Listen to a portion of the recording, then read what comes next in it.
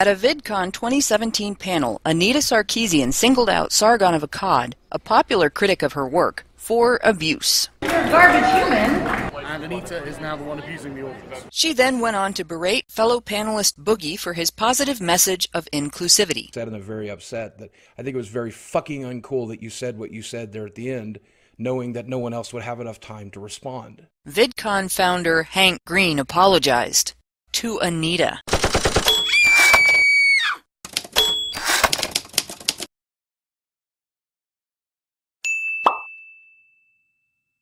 On Thursday, June 22nd, VidCon hosted a Women Online panel, which included Anita Sarkeesian. A diverse group of non-feminist YouTubers attended and sat together in the front of the audience to listen to what the panelists had to say. Among them was shitlord extraordinaire Sargon of Akkad. When Anita discovered that Sargon was in the audience, she fem freaked out, went into action, and texted security.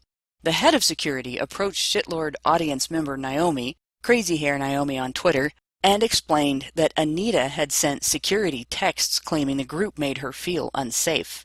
Anita had actually labeled people she knew disagreed with her sitting together in the audience an act of aggression, and the group was asked to move to the back. When Naomi pointed out that Anita is a professional and it's her job to not react to the people in the crowd when they have said nothing to her, the guards settled on surrounding and watching the shitlord section. Soon after, Anita answered the moderator's question, why do we still need to be having panels like this, by pointing Sargon out to the entire audience.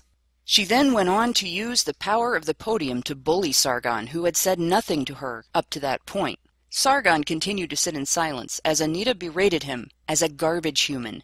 She finished by insinuating that his videos are all about her. So essentially, her answer was that panels on women on the internet still need to be held because there are uppity people with dissenting opinions who have not yet bowed to the idea that feminist women should be able to make political statements publicly on the internet without the inconvenience of having their assertions examined and criticized in an equally public manner. This set the tone for about a half hour of shrill, weepy, rising inflectioned, nasal whining by the whole panel.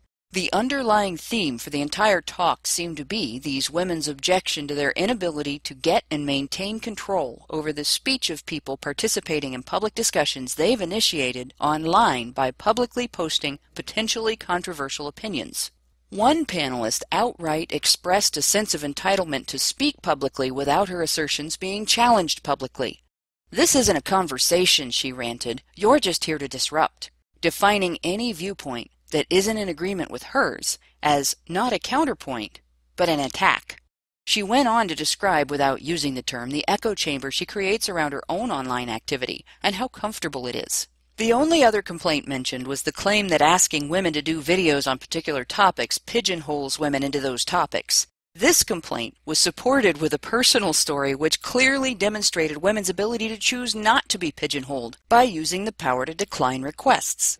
By the power of... No. Authoritarian feminist YouTubers, in other words, want you to watch their videos, but they don't want to know if what they've said elicits any other reaction from you than, oh my god, like, I know, right?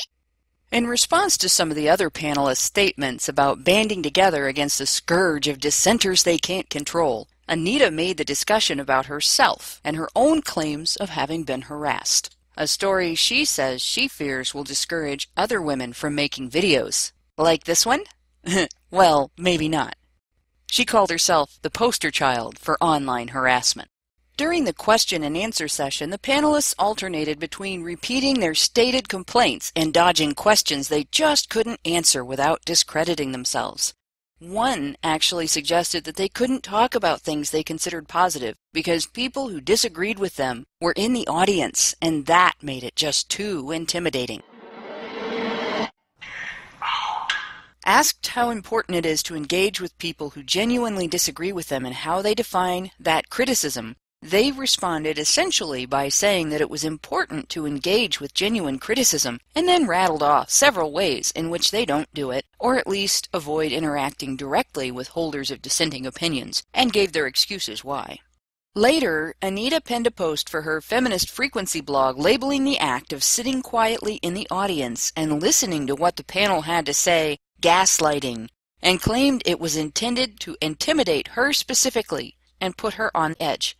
Her admission that her allegation is outrageous is stated as a prediction that those who were there would plead innocent and act shocked at what they characterize as outrageousness.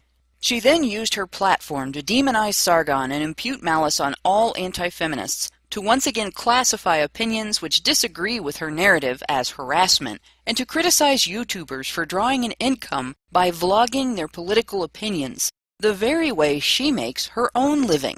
For the record, Anita's entire online career consists of falsely demonizing nerd and geek men, ignoring the women who were nerds and geeks before it was cool, mendaciously disparaging the communities we've built around hobbies and professions we've shaped, wrongfully demanding those hobbies and professions change to suit her feminist sensibilities, and then crying harassment when her defamatory political claims met with disagreement throughout these communities, including hostility from those who apparently dare to take offense at her deliberate mischaracterization of them and their peers.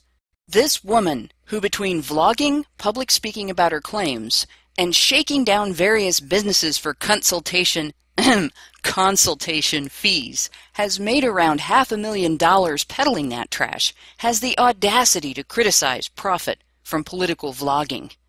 She demonstrated an awareness of how she screwed up in calling Sargon a garbage human by coming up with an unoriginal excuse, characterizing the act of publicly disagreeing with her publicly stated opinions as harassment and incitement of mob harassment. She finishes her five paragraph complaint about not being able to control other people's online responses to her political speech by claiming to be powerful.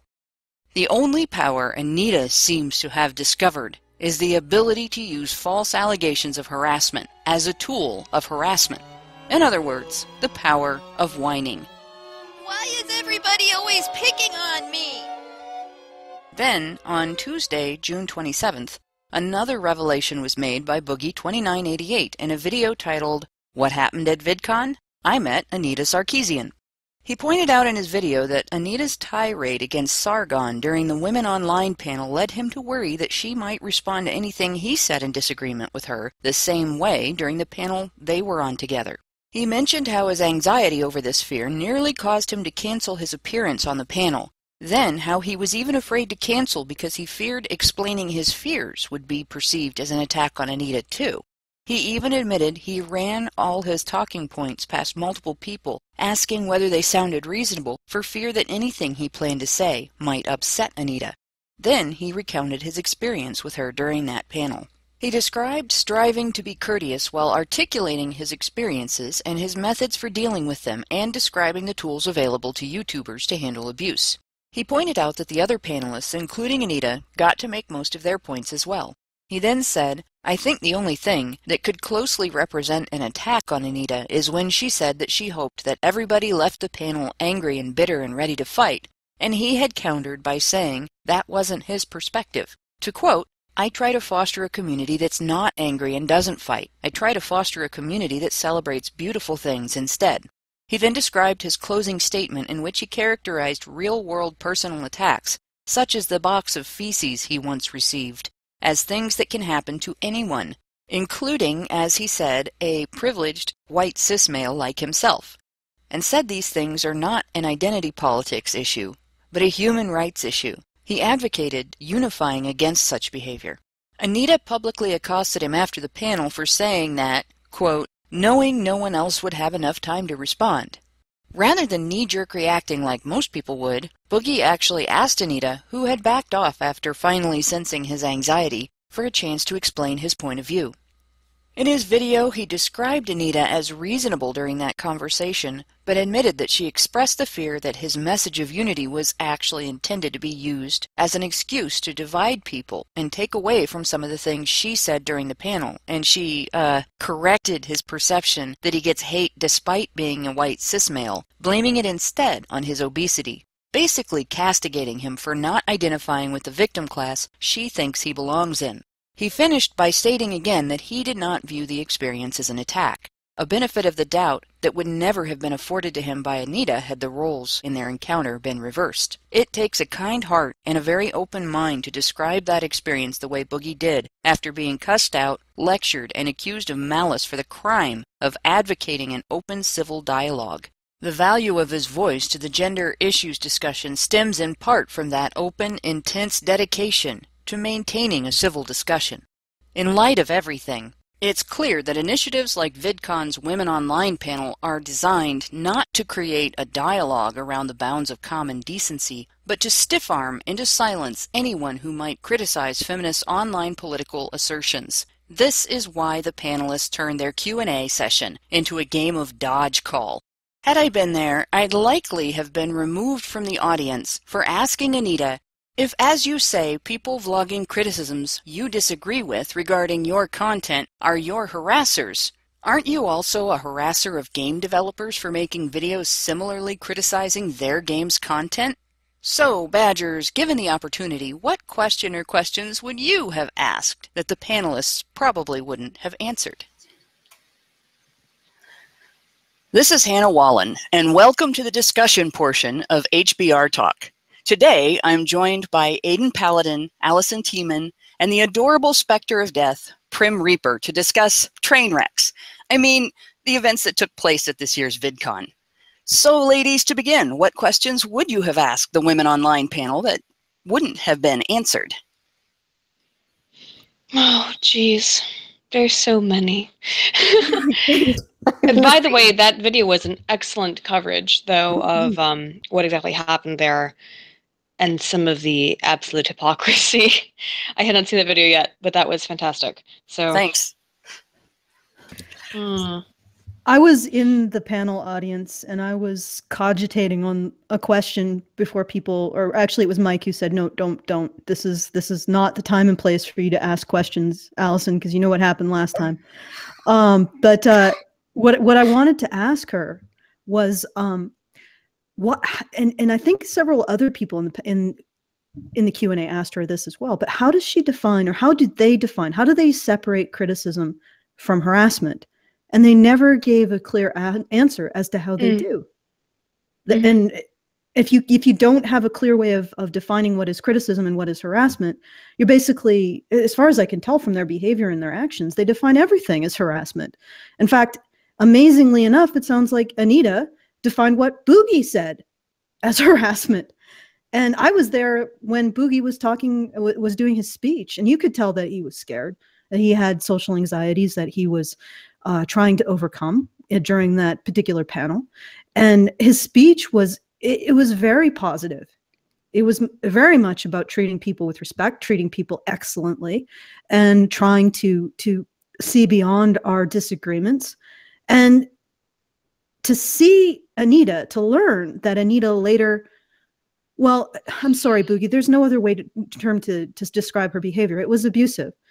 Yes. accosted him and then blamed him and imp- imputed malice. And it's not even the the knee jerk because people knee jerk get angry all the time.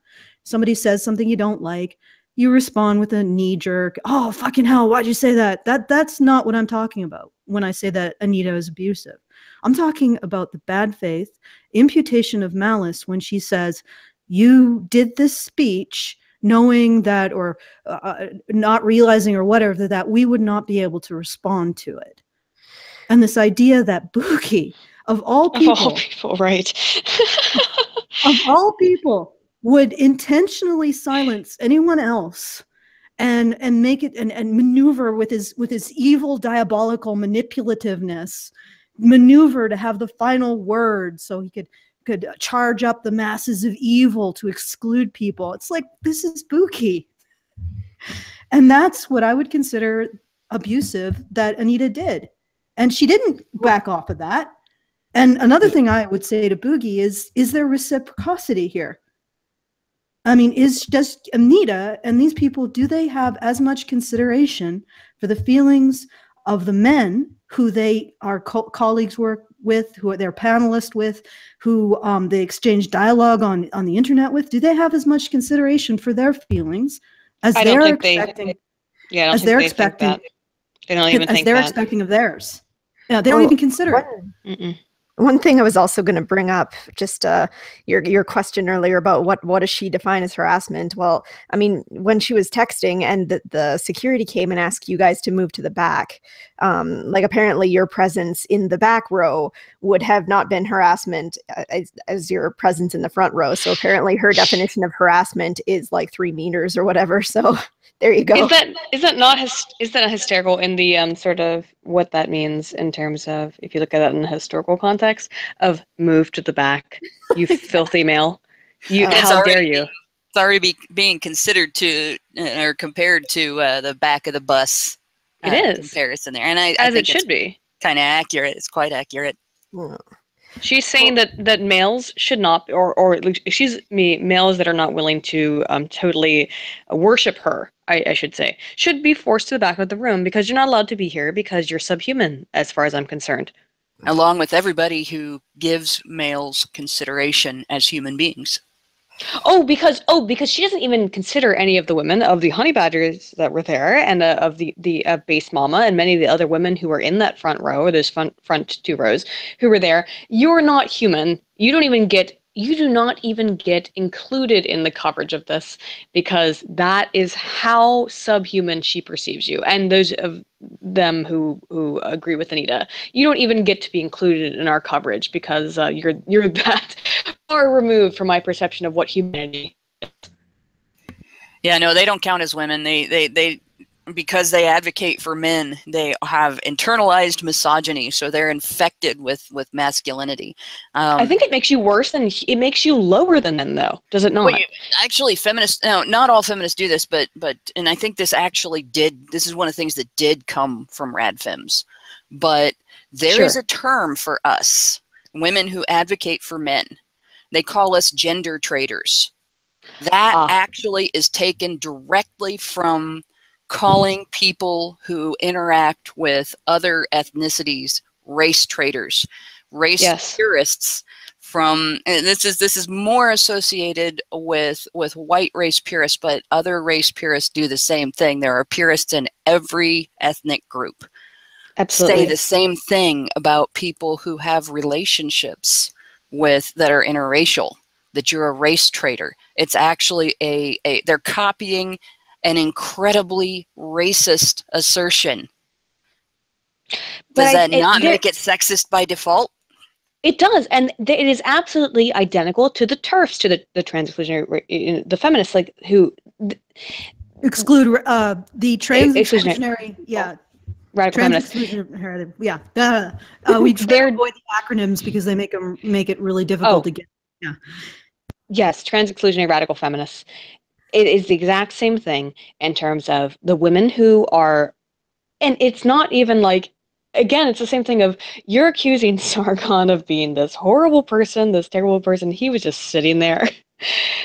And it's the same, uh, but she cannot, she and, and her advocates at Polygon cannot even accept the fact that people like Based Mama were in the front row.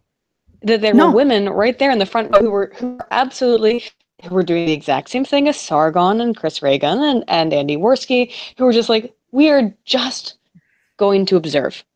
We were there. We were sitting quietly. That was it. I mean, the exact same thing. We did nothing. Go ahead, Bram. She used the word gaslighting. Like, do you know what that word means? By these people sitting there, you're you're they're gonna make you question your sanity. Maybe like Maybe you need to question your sanity in the first place. Like, maybe does we don't does need. it count does it count We if don't need to do that. question her sanity oh, maybe get some help before 'Cause I do. more panels. I certainly do as well.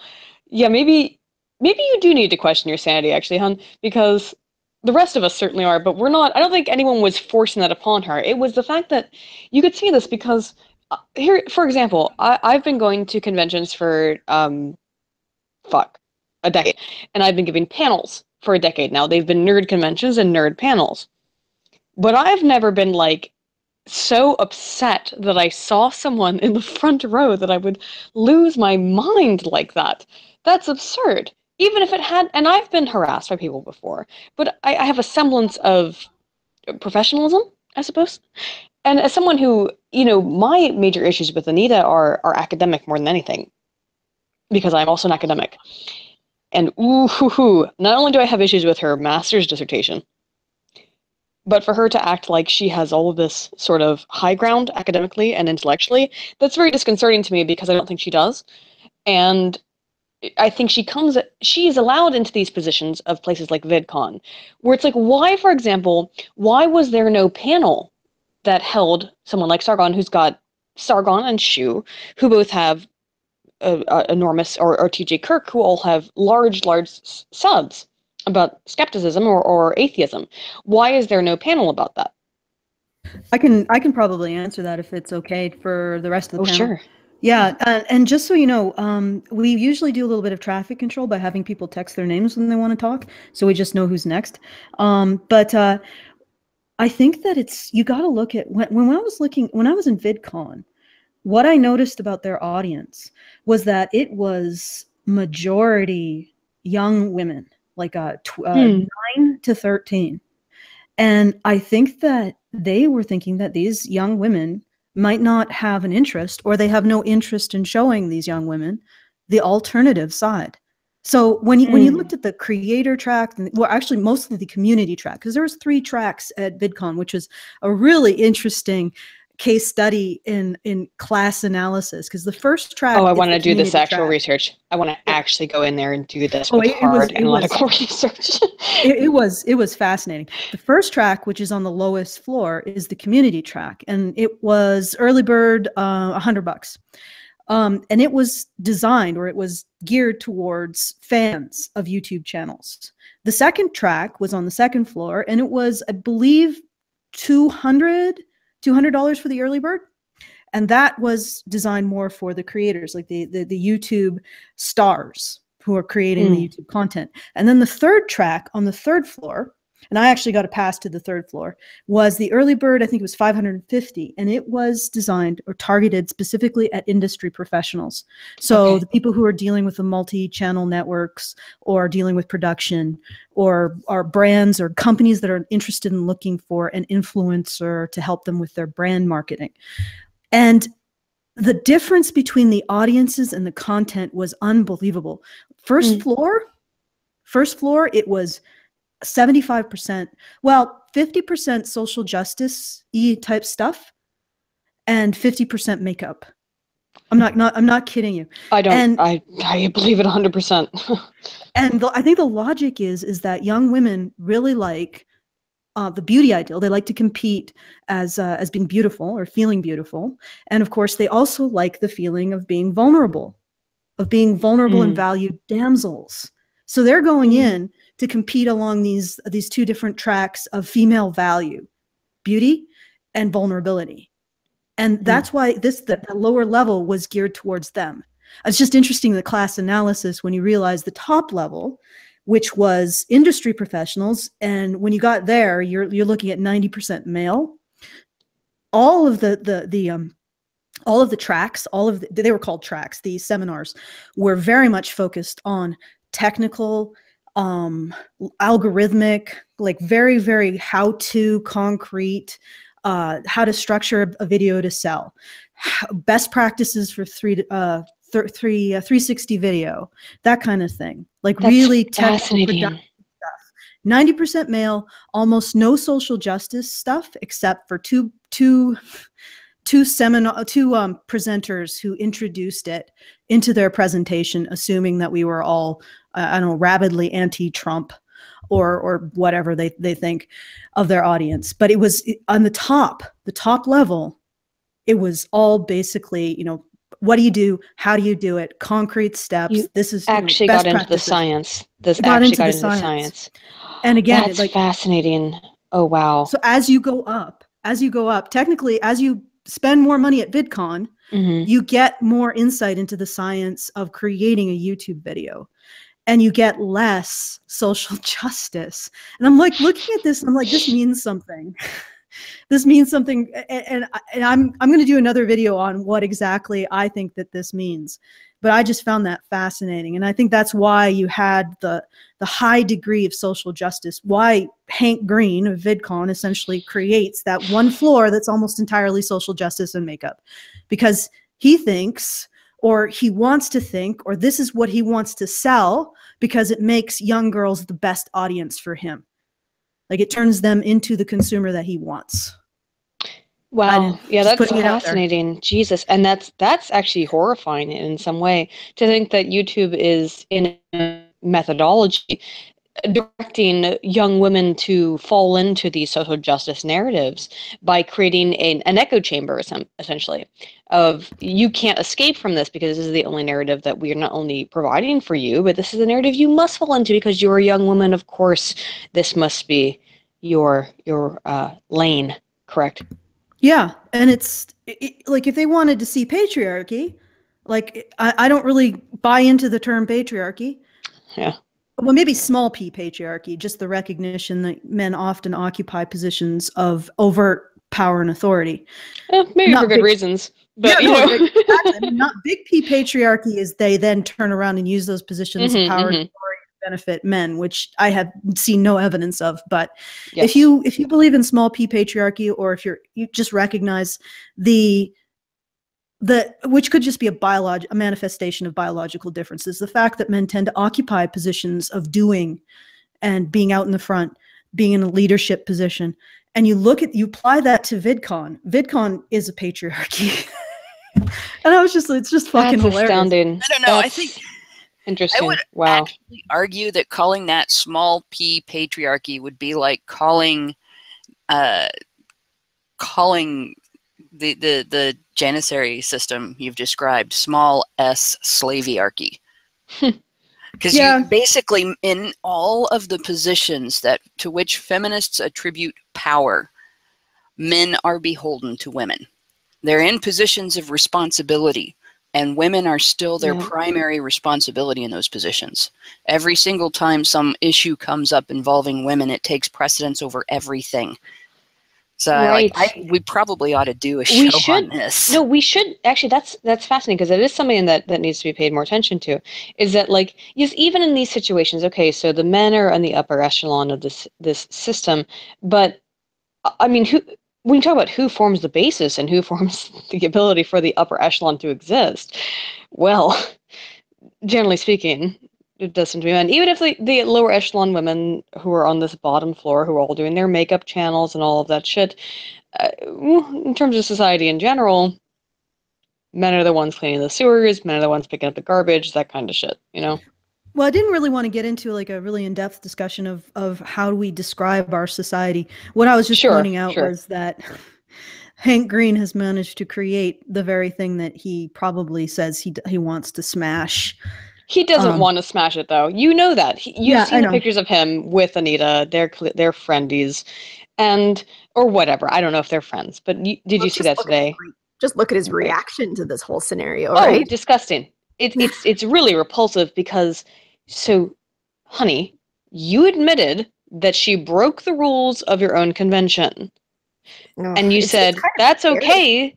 That's okay because Carl, the five foot six, uh, chubby, bearded uh, British man, is so intimidating that uh, you know I've actually it's met him. logical for her to be terrified of him.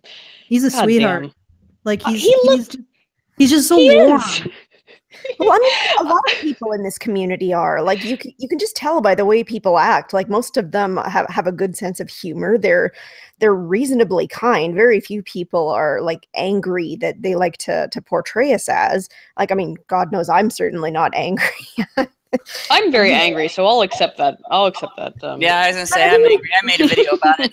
but but but even then, like you you guys, you're you're clearly not like scary people, right? Like you're very easy to talk to. Speak for yourself. Ah, astoundingly this is an interesting bit is that i think here here's an interesting thing i think all of you can agree with is that the whatever you consider yourself politically us on the the con- the hmm, i wouldn't say conservative I, i'm a con- i'm a political conservative but us on the anti-sjw side we are far more easy to communicate with we're i'm just saying as as aggregate i have seen that everyone on the anti-sjw side are all like talk to me.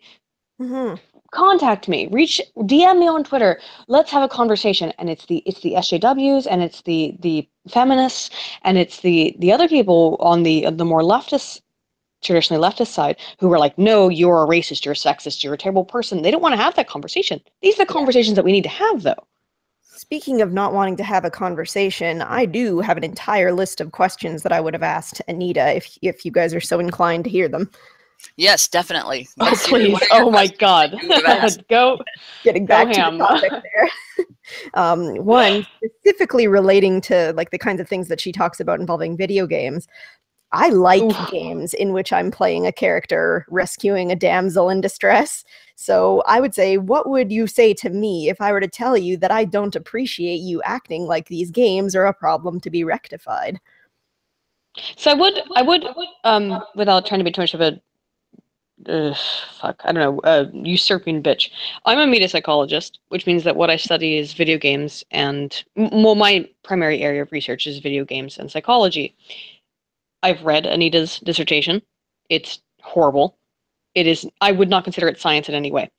Now, I am somebody who actually studies how women interact with video games. In fact, my doctoral dissertation is on the female body in mm-hmm. video games.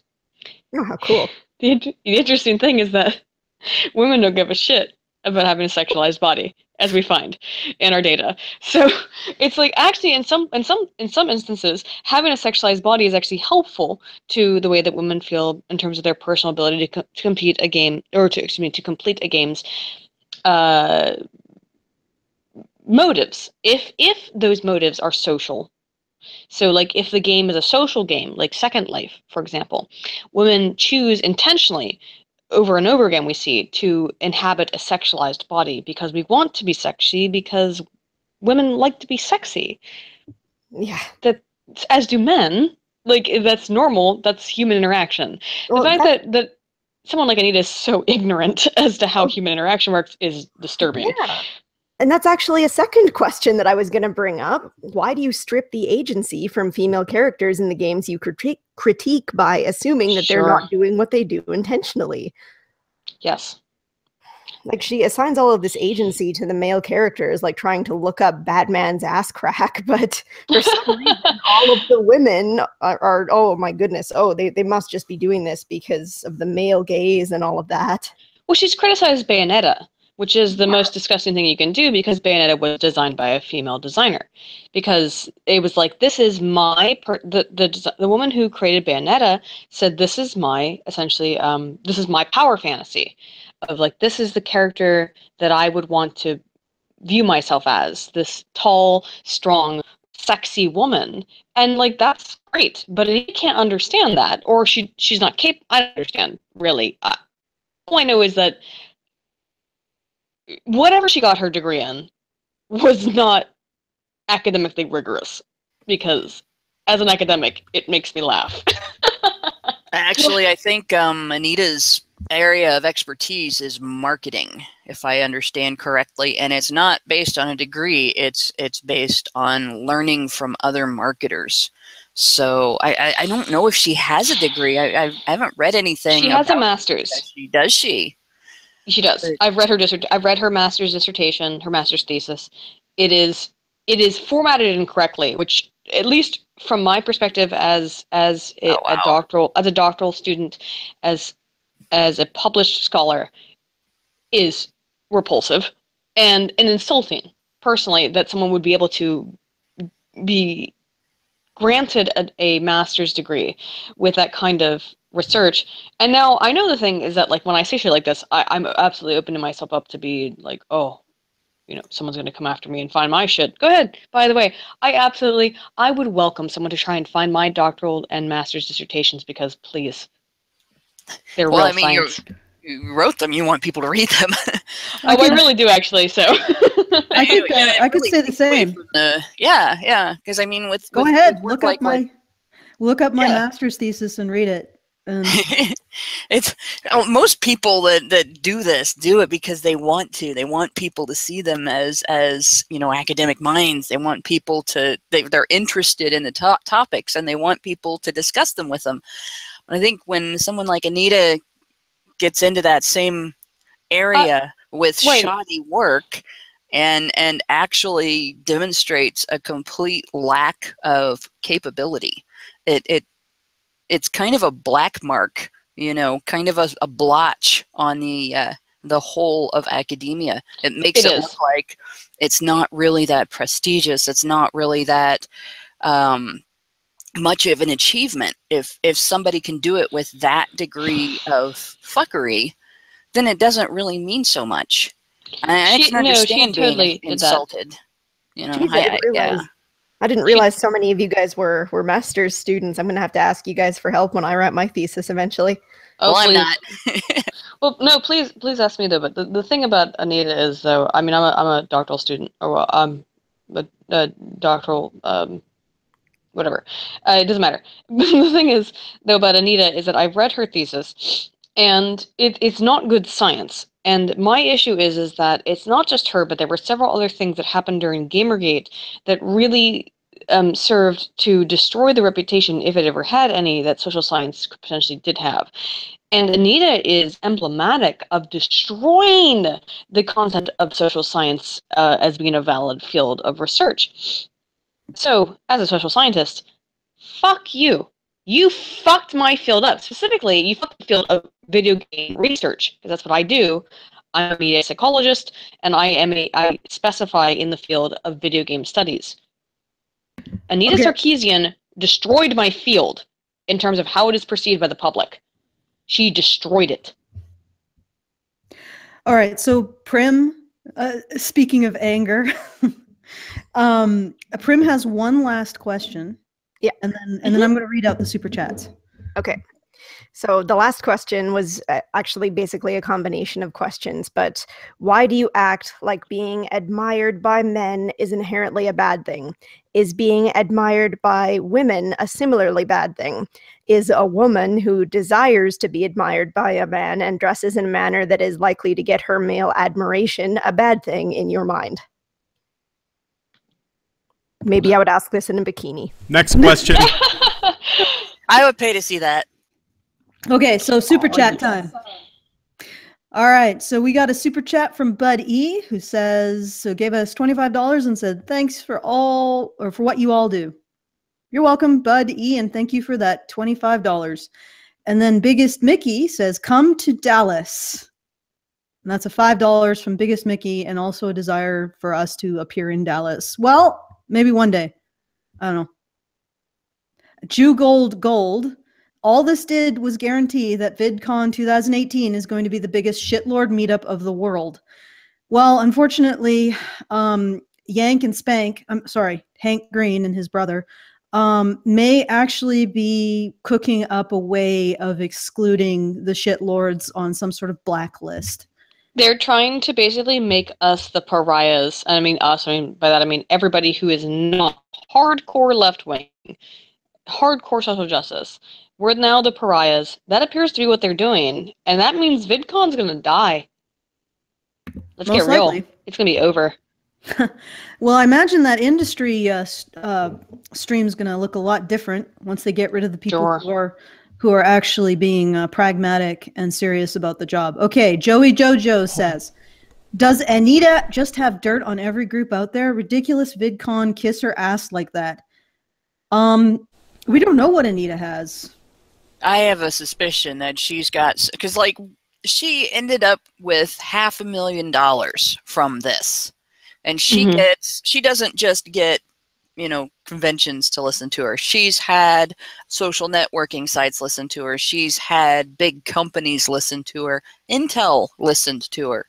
You know, Mhm. it's I mean this is not something that happens with someone of her low level of capability and and and I hate to say this, but when I say her area of expertise is marketing, I'm really kind of mocking her because she's she does everybody that that listens to her that agrees with her was going to agree with the things that she has to say no matter who said them. And she hasn't Mm. persuaded anybody that disagrees with her to her side. In fact, she pisses people off who disagree with her. So here we have somebody who is irritating, caustic, not very good at at handling surprise situations and somehow she's getting all of this attention from all of these big companies and in the same way that Al Sharpton does. Hmm. And it strikes me that it's not just the narrative. Somewhere along the line, I think she's got some someone with pull behind her. Oh yes. Absolutely that's that's my concern is that there's and I know that sounds conspiratorial, but there's somebody there and it was what the fuck was her ex's name? Um dang it. The guy she McIntosh? used to Oh, McIntosh? McIntosh. Yeah, McIntosh. So before she she dumped McIntosh, who by the way she cites in her dissertation, speaking of which, uh, as as oh he went over my research. Somebody else has bought her at this point. And I mean if that sounds conspiratorial, fine. Call me Alex Jones. I really don't care personally. I think Anita is owned by people, and I think that uh, that's why you can see the these small changes in her shit. She's owned. She's Owned she's and bought promoted. and paid for. Bought and paid for. Yeah. I'm pretty sure her road is bought and paid for. I think that is what's going on. And I, like, I, there's there's not something I'm gonna say. I've got a smoking gun here, and that's a fact. It's just Sure. I don't have any alternate explanation for this. Uh, honestly, why someone that incapable would be able to have the career that she has, because it's all smoke and mirrors. There's nothing to her. Absolutely. She has no arguments, which is the thing that's so disturbing is that um she she can't debate someone like anybody on this stream right now. She could not debate or talk to any of us because we would all destroy her.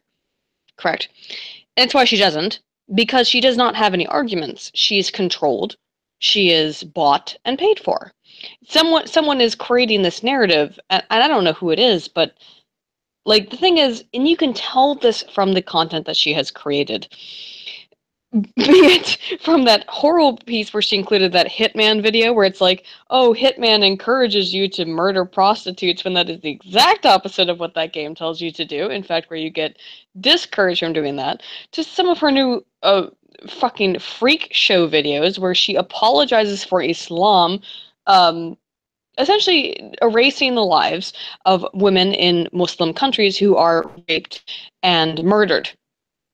And she just says, no, let's not cover that. We won't talk about that. She's controlled. She is controlled thought. It's disgusting. Yeah, you're cutting in and out a bit, uh, Alad. Um, Oh, sorry. yeah. Uh, did you see? Did you see the new video that she made though about Islam? Um, no, it's a little bit out of our wheelhouse because we sort of focus on issues between men and women. Um, Good. Well, as you should, but my my fear is that like she does not talk about she made a video about it. She basically said though that there's there's no problem with um or excuse me, I should say it, let me be completely accurate that all religions are bad towards women, but there's no that Islam is not any worse. um, I think our position Oof. is that Islam is bad for both men and women. Yeah, it's pretty much bad. I well, as and I this is- agree 100%. I agree Islam is bad for men and women. Mhm. This is 100%. something that I, I want to point out. We've noticed as a as a group, we've noticed going on with feminism and going on with um, like, like people aren't seeing it and they're falling for it. People on both Mhm. the left and the right are falling for this. Feminists that are adopting Islam as as a sort of pet religion, and they really are adopting it as a pet religion. That they've sho- sort of Yep. shoved Muslims into a special place in the progressive stack, are using demonization of Muslim men's sexuality as a sort of shield to slide as a sort of shield to slide Sharia law in under people's radar. Obviously, women have to be protected from these evil, rapey Muslim men. Look how Muslim women do it. We should adopt that. That is what they are saying. And that is what people are starting to, to accept on both sides of the fence. how disgusting the way that that that men are treated in Islam as much as women though as men are treated yeah. As as you you are a, a vessel of war and you have no other fucking value other than your ability to kill yourself. Holy shit! I don't mean to get too much into that sh- that kind of topic. Well, and We're a little off every- topic. Yeah, Right, every- right, right. in every instance, you, you can you can talk about that, and that's a, that's a whole other show of, on in and of itself. But as far as Anita's connection with it is concerned, uh, and I haven't seen her video either. All I've seen is talk about it, but I recommend watching it with the point that I stated in mind. Is she using? Here, look at the way Muslim women protect themselves from from those Uh-huh. Muslim men. We should we Mhm. should accept that as valid and start. You know, maybe not. Maybe she's not overtly saying we should start doing it, but I will bet you that she's slipped that in there somewhere. yeah. Look at the way these, because this is something that I noticed with Yeah. the Women's March. This is something that Alison has pointed out repeatedly. This this idea of the the rapey Muslim man, and I'm not saying that rape doesn't happen in their culture. You know, we're gonna get we're gonna get all kinds of shit for people. So, oh, there they are, Islam apologists again, saying Muslim men don't rape. You know, no. What I'm saying is, this is being used as a selling point. This is the wedge this is the shield to get Sharia law into countries like the United That's States. That's the fear. That is my that is my absolute terror. Is that Yeah. they're going to use that shit without understanding the complexities of it. Okay, but this is really off topic. It is So a let- topic. Wait, let's get Yeah, back on. Let's Let me get back let's on get point. back on topic. Let's let's let's trot over back to topic. Back Um, to the topic in in terms of VidCon, you know, this is exactly the danger of allowing people like Anita Sarkeesian to use false allegations of abuse to shut down dissenting opinions. Here we have a, a narrative that she's promoting that were we in a situation where she had the power that she had at VidCon just throughout all of society, where, say, free speech, free discussion, open uh, dialogue had been smashed by the matriarchy, that type of narrative and that type of using women as a shield to sneak in a, a severely authoritarian, draconian type of legal rule would go unchallenged. Sure. Look at the way they were portraying the scenario in a lot of like in the Polygon article for example they're like oh yeah they were all holding out cameras and and as if that was harassment in itself and I think the only w- reason that they're saying things like that is because you know with with the cameras we can clearly demonstrate that what she has to say is is untrue that she wasn't being harassed in any way and she's the one who lashed out first so the fact that people have that on recording and they can prove that she's full of you know Well, they're totally changing their narrative. The, they, they, there's the, the terrifying thing is that they are now changing the entire idea in that you don't have to do anything to someone to harass them. You just have to exist. You just have to exist in their space because that that is that that is the narrative that they're now espousing, is it not? that Basically. that that Sargon by sitting in the front row was harassing her, which is totally and and Green and all of the other people that are involved in VidCon are now saying that's correct. Yes, not only are you harassing her, but you're not allowed back next year, probably, because this is my maybe she'll fuck me. I guess I don't know. I I'm disgusted by that entire narrative. It makes me sick. but Yeah, and I don't think the that's it. she has the right Well, to, today some by videos or pictures came out about Okay, him guys. with her. Okay, just Yeah. take turns because it um they will Yeah, sorry. will cut out. So Prim, you were you were saying? I, I was saying she has the right to be surrounded only by people who agree with her. And that that that is her right as a feminist. And otherwise she's totally not gonna feel safe. And if she doesn't feel safe, then the world will will explode. We will all be in great danger, you guys. Yeah. um I so I just want to do a shout out to Gareth Green who gave us tw- $32 and says Anita's BA was in communication studies. Her MA was in social and political thought. Just a for your information. And then Hab- oh god, Hoki Bukisa, Hoki Bukisa says welcome back and Drum Wild says, "Do you think that VidCon will turn into AnitaCon? What could the implications be?" Um, I think that uh, I think Anita is basically the so- spokesperson for Hank Green's uh, Hank what Hank Green is selling because one of the big Mhm. things that Hank Green is selling these little girls is uh, victimhood ideology. Yep. And and Anita, you can't allow criticism of Anita because Anita is he she essentially she essentially is like the guard dog. The guard dog saying, No, you can't question Hank Green's tonic, his his foot tonic. It really does improve your feet. It really does improve your ability to run. And she's the one who gives all the arguments why that is so. And essentially attacks anyone who says, Well, wait a second. I just saw that girl drink Hank Green's foot tonic and immediately her feet turned into turned into something out of, I don't know, 1800s China.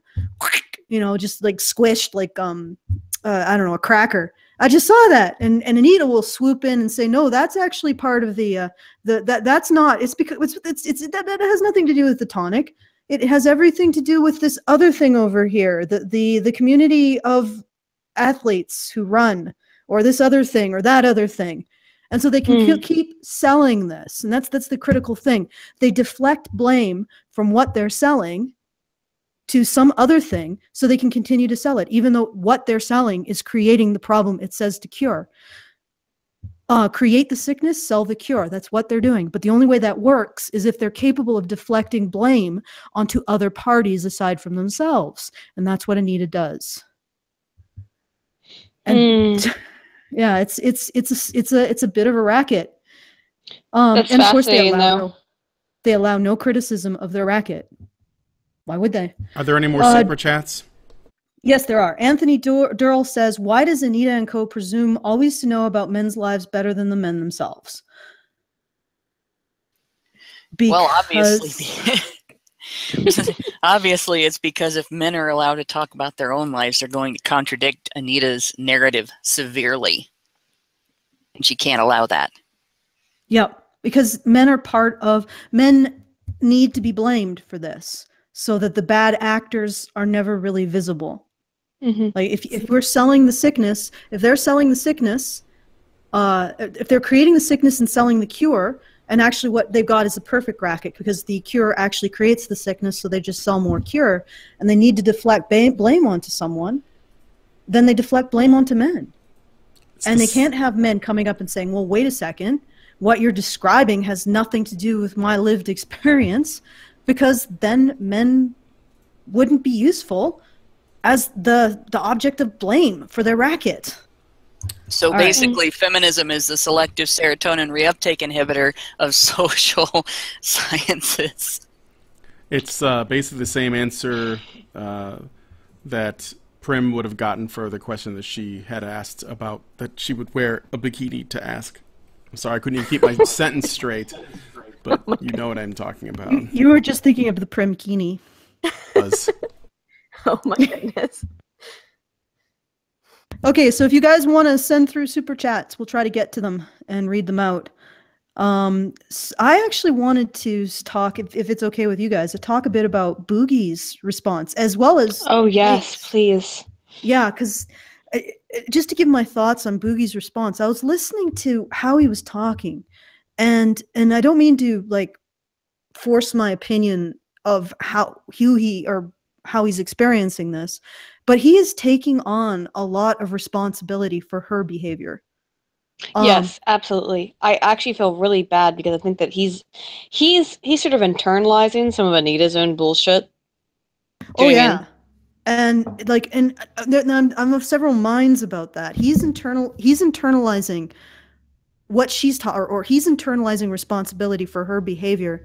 And I think maybe partly it's because I think abuse victims want to feel a little bit of control over their their life, so they want to feel like it's it, that they're that the things that they experience are actually a result of their actions because then they can Yes. control their actions. Actually, But from a psychological from a psychological. I'm sorry, I don't mean to interrupt you too much, but the psychological perspective on that is completely correct. In that people who are the victims of, of psychological abuse, as Boogie is, as we know, they want to take their abusers, the things that they do, and say, This is my fault. That is completely typical. And to see that Anita abuses him the way that she does, and then he still is being like, Yeah, maybe it's my fault in some way, that is, I guarantee, I don't know. No, I don't understand how much Anita knows about psychology. If she knows any of it, maybe she did that on purpose of knowing that she could bully Boogie, knowing that he would internalize her bu- her bullying. That's I'm- disturbing. I'm going to speak to this from a different perspective, um, not from necessarily per, necessarily the perspective of someone who studies psychology, but from someone who in the past has been a, uh, a victim of long-term psychological abuse by a girl, actually more than once. Um, And one point that I'd make, and I put this in our chat earlier, but one point that I'd make about the boogie situation is that it's it's not this isn't to label him as a victim because the reality is that if he doesn't consider himself one he's not. He's not Mhm, mhm. experiencing victim status okay? So Mhm. i'm not taking away his agency by saying this. I'm talking about what we do as human beings when we are in this situation. Um, and it doesn't make what anita did to him not abusive to say that he's not experiencing victim status. Because it doesn't change what her intent was uh, Mhm. and, and and still is and that was to to bully him into silence so that he would not do the thing she was upset about again. It just shows that that due to his history that that he's disclosed in the past of experiencing this type of abuse. He's developed that mixed bag that, that we develop of being able to manage a psychological abuser to a degree and and being more forgiving of one than maybe other people who witnessed her yelling at him are. And this is something that happens when you're a target of repeated long-term psycho- psychological abuse you develop a pattern of accommodating the abuser. And i've talked about this Mhm. before. You learn to uh, read their cues and obey them in order to avoid or uh, divert the coming abuse. And you learn to sort of manage their behavior. And if you're smart, and I think Boogie's a pretty damn smart guy, you learn to manipulate the same way they're manipulating. And it's not necessarily healthy, it's not necessarily the best thing, but it does manage the abuser. And you sort of see in the way he described the situation, what he was able to do was get her to calm down, get her to back off of the abuse, and get her to agree to try to have a civil conversation with him. Now, in the end, they did not come to any kind of a consensus, and they weren't going to come to a consensus, and that's because Anita's intent never stopped being abusive. But it did protect Boogie from the degree of trauma that he would have experienced if he had not learned to manage a psychological abuser. So there's a degree to which that's healthy, and there's a degree to which it can be unhealthy. And I think mm-hmm. Boogie has taken it to a healthy place. He does protect himself, at least in the aftermath, from mm-hmm. the trauma of abuse. And I think a lot of his social anxiety comes from it's it's the other end of it. He's anticipating that abuse and anticipating having to take those steps and everything, um, and and he's anticipating having to shake it off, and that's all part of human nature. What was good that came out of it? There were two good things that came out of it. You know, the the first one is, like I said, that he it was was able to spare himself some of the trauma that usually comes from being abused like that. The second thing is he gave Anita all of the room she needed to fuck up in. And it's pretty clear that she used all of it. And I I, just- think that's important too. I wanted to add to that. Um, I actually really didn't like seeing what people were saying about Boogie, that he's a cock, a white knight, etc. If you look at it from his perspective, dealing with social anxiety issues, he didn't, uh, and, and how he approaches things, he didn't back down. He doesn't have to be in the same position that we are, looking out at the world in the same position because he's not. I- but he when Anita for him. when Anita said what she said, she he he directly contradicted her. And his intent in using, uh, according to his response, his intent in using the cis uh, straight het whatever uh, white male thing was to actually defang their use of it to say you know this is not an issue that only faces minorities. This is an issue that faces everyone. Yes. he was trying to be inclusive and he was doing it in his like he was he was showing spine in his own way in in the way that that he was he was was comfortable for him. And part of the what i didn't like seeing when i saw his videos was the amount of judgment that was being leveled at him for not doing it the way that other people wanted him to do it and yeah he he tried to make it he but that but he seeks out the common ground that's who he is Gotta Um, point we- out that Go ahead. is pretty much how um, on on her Shrink for Men website, Dr. Tara Palmatier says to handle a a, a uh, narcissistic or uh borderline explosion when they when they blow up on you. The way Boogie handled it was exactly what she says to do. and we And can't you, you see it. You see Mm. how it worked. I mean, he wasn't necessarily a rar soldier for the anti-fems or anything, but he handled it and he but showed that's fine. he showed spine. He showed he showed asserting his point of view. I would just ask him to go a little bit further and ask himself to to re- at least consider requiring as much consideration for his emotional uh, well-being as he is giving Anita. Um, Yeah. just- oh, sorry. Oh no, yeah, I agree completely. Um, the thing about Boogie is that, yeah, I was actually really impressed by him, by his ability to stand up to some of the shit that Anita was willing to do to him. Because I, I would have expected, I know Boogie's got, so I have extreme social anxiety. I understand where Boogie comes from. It's one of the reasons why I really appreciated some of the things he said in that panel. And the fact that Anita, who claims to speak for women, would come out and, and attack him over the shit that he said about harassment, that's disgusting. Like the things that Boogie said, I know they were hard for him, and I know that there are people who are saying, "Oh, he he didn't go hard enough, he didn't do enough." He has social anxiety disorder, as do I.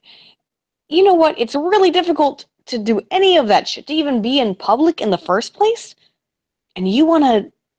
I'm I'm sorry, I cannot Anita could say all kinds of shit. She wants to go after somebody like Boogie, who I know has social anxiety disorder, and and be like, "Fuck you! I'm going to try to make you feel upset because I, I I know that, and we have to accept this. Anita went after him because she knew that she thought she could control him. She knew that she thought she could intimidate and and corral him. That's disgusting. That's really disturbing. Well, I, Prim, you I had was- your name in there too. Did you have something that you wanted to add? Well, I mean, honestly, I didn't actually see any of the the boogie stuff, so I'm gonna have to check this out afterwards. But just touching on something that you guys had said about people saying that like he should have gone harder or whatever. Um, like, I mean, I've I've actually had people tell me that I should be angrier about my stuff too. But I actually think that having different kinds of voices amongst all the people in our Absolutely. community is really really important. It And, is. I mean, we all have our different ways that we like to go about doing things, right? And I mean, I think that it's it's great that he kind of sticks to his guns and and does his own thing. Like he sounds like a really nice person. Right, that's my my thing that made me upset is that like he's so boogie of everybody on YouTube is like the most hey, I'll I'll deal with any topic you you you know bring up with me. And and this is the guy this is the guy that you want to fuck with. The nicest dude on YouTube. Really? Oh, Anita, you're young. You need to to go into the children's room. You need to, to go take the toddler seat because you you're not allowed. I'm sorry, you fucked up too bad. She needs a timeout. Why Exactly. All right, Alison, go go for it. Listen, are you with us? Alison. Sorry, sorry. Oh my goodness. Um. Okay, so we have some more super chats. Mil- Mr. Why do you guys do this to me? Felixify uh, sent us uh, 200 Nokias, which I don't know what that is, but thank you, Mr. Two hundred Felixify. phones. That's no, that's 200 uh, Nokia phones. Norwegian krones. They're worth about twelve cents each. Okay, and Gareth Green sends us another ten dollars and says, "How can we fight Anita and her masters? Can we get Cassie Jaye to come to VidCon next year?" I think that would sort of be slumming for Cassie Jaye, to be honest. Um, Yeah, for Cassie's VidCon. too good probably for it, honestly. That's for shitlords like us, like bottom of the barrel shitlords, like not not you, uh, not you, uh, uh, uh, but us. oh, Aydin's you know, like- no, A- Aydin's a shitlord too, and and I'm a uh, complete piece of shit. yeah, she is. I, I loved I loved I want to get real deep down into the absolute And you know- garbage of humanity. like like to be real down in there with um Carl Carl Benjamin, like the real garbage humans. yeah, and That's the where I uh, lower belong. colon. uh, the lower colon of the of humanity. But I mean, if by next year Cassie Jaye has embraced full shitlordery and she's basically shit posting on Twitter and like wrecking people in YouTube comments with her uh, blunts and her sideways ownage caps, then yes, maybe she would want to come. I don't see that in Cassie's future, but stranger things have happened. Yeah, which No, comes Hard down Bastard from and are- hovering above us, and Oh yeah, well, not that I she. love Cassie. She's great. But yeah, if you want to really come down sweet. here, She's really sweet. Okay, so Firespawn01 says, Do you think that it's likely that at some point we'll see Anita's brand of feminism marching through cities with burning torches and banners flying high? I, don't, I think it's more Not insidious anymore. than that. Um, we're we're kind of don't think- already seeing that actually. Yeah. Uh, every time you see a group riot and throw rocks through windows and burn things, I mean that's basically what Antifa is. yes. However, I would say that that is quickly becoming unpopular. Well, it's Now, you- obviously the trash cans that they have been attacking are are, know, are getting fed up, and they're going to start rising up against the the evil Antifa attackers. I got to deal with those poor trash cans. but here's the thing. Uh, here's the interesting thing, though, is that um, at least in the United States, I can't speak for other countries, of course, but at least in the United States, uh, people are getting really fucking tired of this. It's why Trump is president right now. Now, you can feel however you'd like to feel about Trump. I'm a conservative uh, libertarian, so I was all on board the Trump train. And you can shit talk me all you like for that. By the way, I don't care. I actually I would encourage it. Please talk shit about me because I enjoy the hatred. But um, the thing is, like, this is not going to change if the the liberals who are doing this stuff. I hate to even call them liberals because I used to consider myself a liberal. This is not what we're seeing now, right? Um, in terms of just being like, we hate everybody. We're just going to to shit post about everyone. We're just going to to you know complain about every, absolutely everything. Um, if that continues, yes, you are going to see a conservative uh, switch in society. Everything is going to become conservative. Now that does tend to happen in terms of human society, at least in terms of the United States over the last oh gee 300 years, switches between conservatism and uh, more liberalism. And if you look more further, it kind of does happen towards all societies back and forth. Hmm. That's just those are open questions. I'm not going to give any specific. I think it's already happening. Um, I think that it's the this marching of feminism. They've already marched through the institutions. They've already marched through government. They've already marched through VidCon because selling little girls victimhood makes money. It turns them How into perfect sad. consumers. How yeah, it is fucking sad. sad. And their And they're- are the ability to use false allegations of harassment and abuse as a tool of harassment and abuse. Their I other think it's going to change, though. I think it's going to change. Maybe, but their other torch is doing things like making anonymous threats against venues that Mm. host their opponents, and that has happened numerous times, including to Mm. um, GG in DC, which had bomb threats. So, you know, this is something that, yeah, it's it's going on already.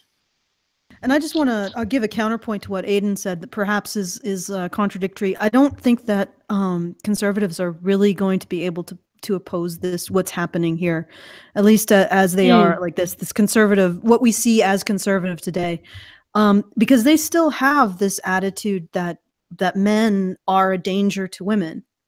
And a lot of conservatives, like a lot, I see a lot of so-called conservatives who believe that there is a class warfare between men and women, that men and women don't come together to create a society. There's actually a class warfare between men and women, with men winning.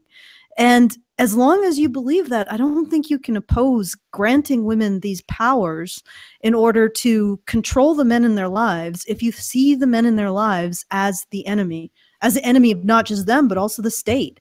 And I, For accuracy, there you kind of got to divide tradcons and authoritarian conservatives versus libertarian conservatives. And uh, like, yeah. there's a very stark difference there because tradcons don't see men as a threat to women.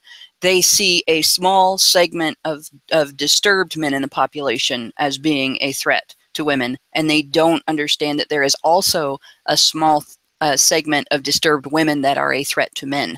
Uh, and what, what they see that is, I think, dysfunctional they consider men stewards of women's welfare. And they they consider women morally superior to men. And that's problematic uh, because Oh, women sure are not is. morally superior. The the pedestal is a very dangerous place for everyone else to stand around while a woman is on top of it. And uh, because the minute that Oh, she gee. falls she is going to land on somebody hard and, and painfully for that person or those people um, and then at the other end of it of course God, that's They- why I love you guys, you gals. Excuse me. At the other end of this is completely correct. yeah, men being stewards of women's welfare takes away from men being stewards of their own welfare and women being stewards of their own welfare, which is dangerous to everybody as well. Uh, mm-hmm. Where authoritarian conservatives do have that use of female victim status as a means to control society. All author- authoritarians, uh, uh, regardless of their ideology, all Yes. authoritarians use Now, that. I I have some fears about. Now, I'll, I'll tell you guys. I don't know how much longer we're going to do this, but I'll tell you guys this, this shit real quick. Is that I have a little bit of fears. Is that there are some issues about women's um, behavior and psychology that give me mm, pause to believe that women should have uh, the same rights to the. Um, ooh, shoot. How do I say this without being sexist? To, to the franchise that men should have. Now, I, I do believe in women's rights completely, but um, we we've found some very negative aspects, as we we've seen historically throughout uh, women's rights in in uh, Rome, for example, that have had some negative responses. Now, I believe in women's rights, but it, some of this shit that's gone like completely insane, like the kind of shit that that uh, Anita Sarkeesian would advocate for, that makes me concerned. That Um, you know, well, I would say the, the problem is the lack of accountability. yes, men that's it. having that franchise, men earned that franchise through their Yes. accountability. Thank you. And they Thank demonstrated Yes. their right to that franchise through their acco- accountability. And I'm not talking about the draft here. I am talking about the overall position men occupy in society. Thank you. I was a little worried. I was I was gonna I was talking, and I was gonna it's be not sexist. It.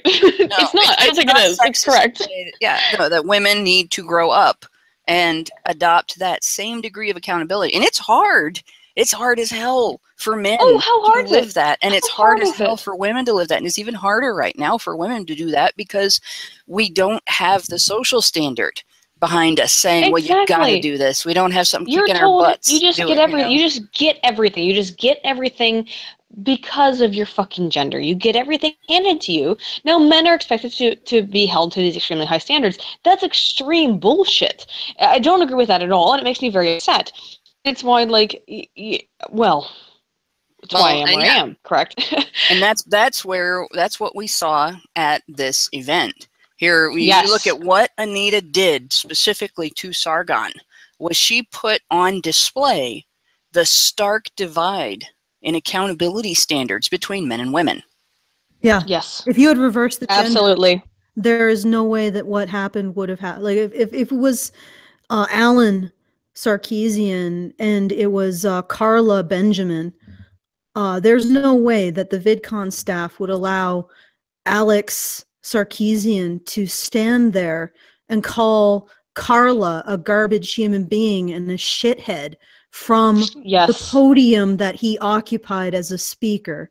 I mean, just imagine that in your mind. That would not fly. It So would there's a never have definite- happened. Definite double standard. And just Whatever, to dude. speak- just to s- what? It- What? you, you disagree, uh, Doge? No, I was just. They're I was, fucking male speaking was- up right now. Wow, No. you're not allowed to talk in here. I was just this playing- is a female-only space. no, I, I was just playing the role of Alex Sarkeesian. I was just is adding a in a, snack in this clan bake? a adding in a whatever dude. Yes, there is. No, s- Okay, so- no step on snack. Okay, so but I, I take your meaning with the uh, the the the lack of accountability and responsibility. Um, Anita wasn't held to the same standard a man would have been in that Exactly. of Yeah. stewarding her power. And that's exactly the problem that I think you're talking about, Aydin. It's the fact that women are not held to that accountability of stewarding their power. And the the the idea of responsibility and earning merit starts with identity. Women get their female identity by virtue of birth, whereas men have to earn it through service to others. Be a real Yes. man, man up, et cetera, et cetera, et cetera. And- is no such concept. Is there any such concept concept as be a real woman? Apparently, that's to uh, be fat. I guess.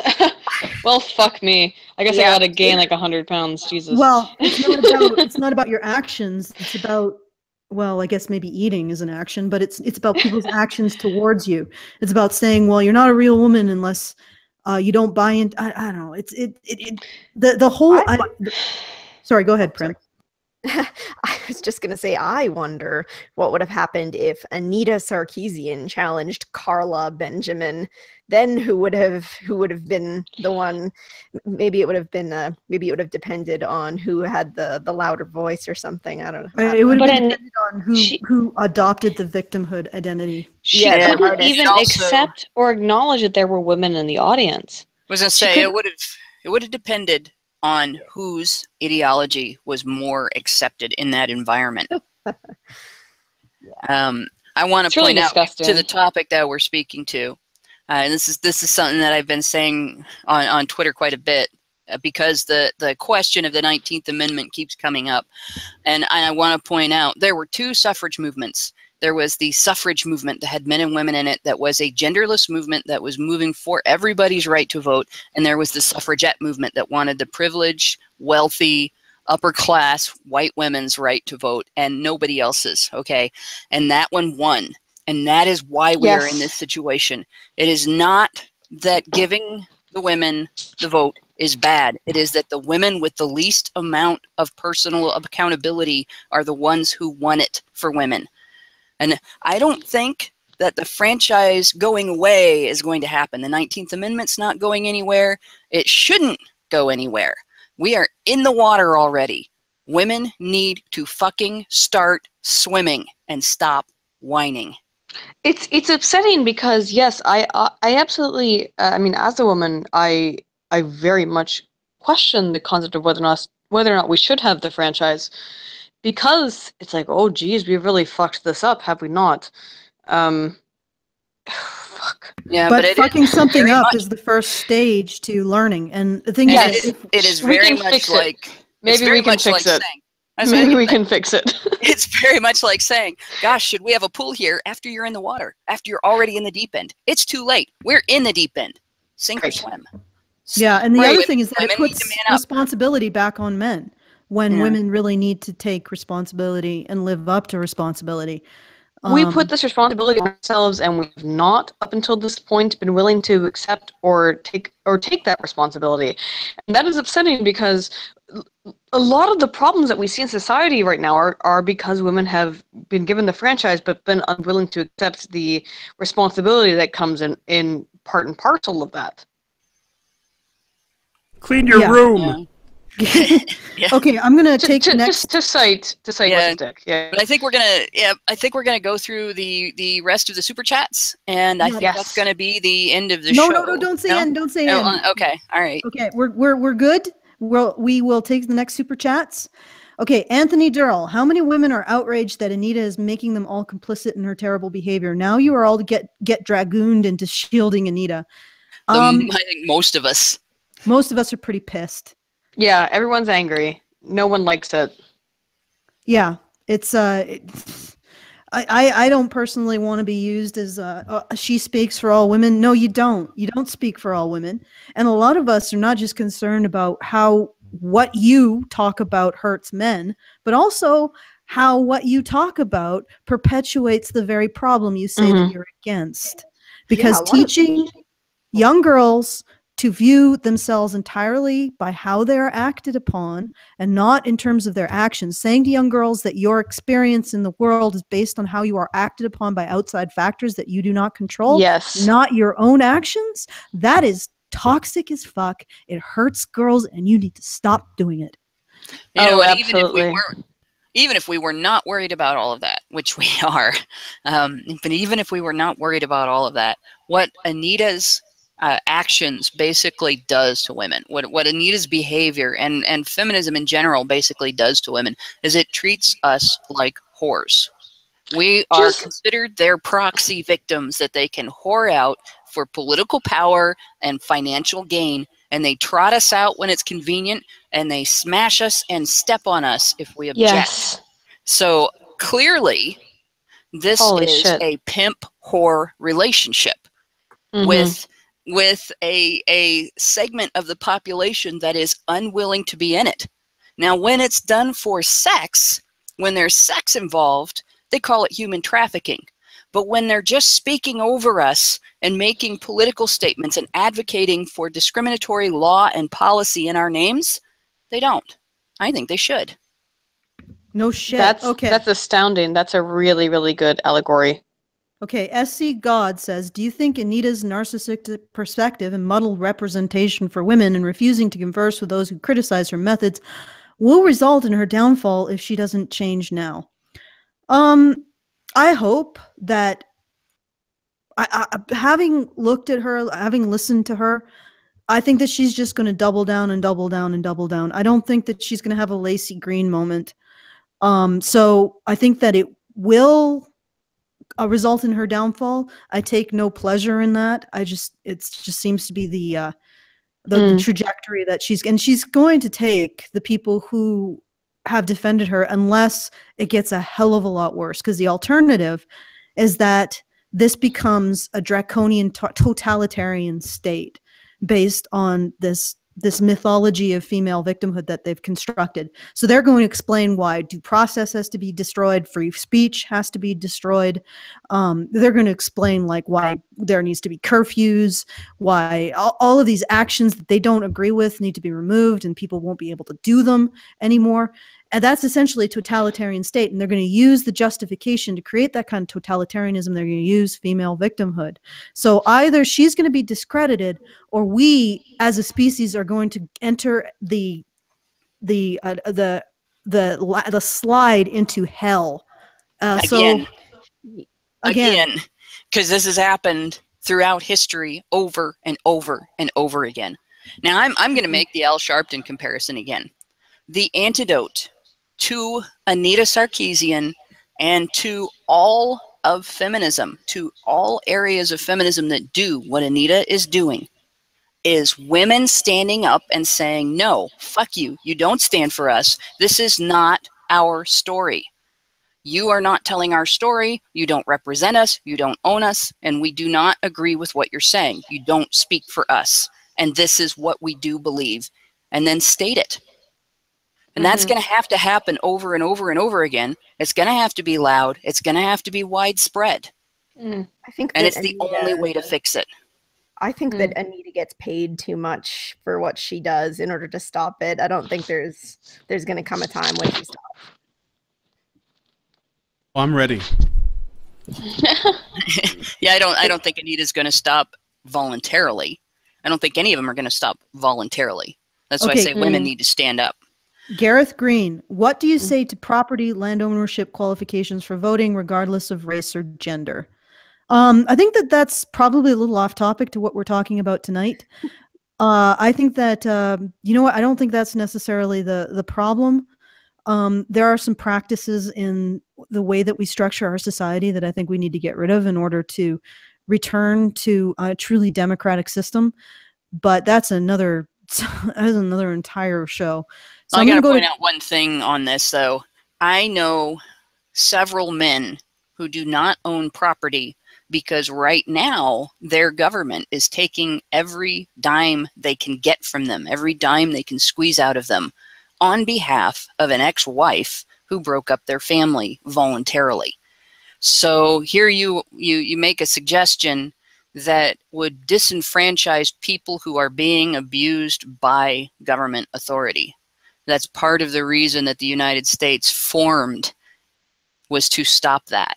And Mm. and the idea of limiting the franchise to property owners would take us back to that situation where if the government abuses you in a way that has financial uh, impact on your life and and has an impact on your ability to meet that qualification uh, then then you lose the ability to use your vote to fight against that abuse so that that's i understand where you're going with that because I, I i know you're you're going for an accountability thing like i was talking about before but it doesn't quite work that way Okay, we got to get into Gareth Green's other question, which is more topical. Just picture this Cassie Jaye is Buffy the Vampire Slayer, and Laci Green is Willow. March into VidCon and slay Anita together.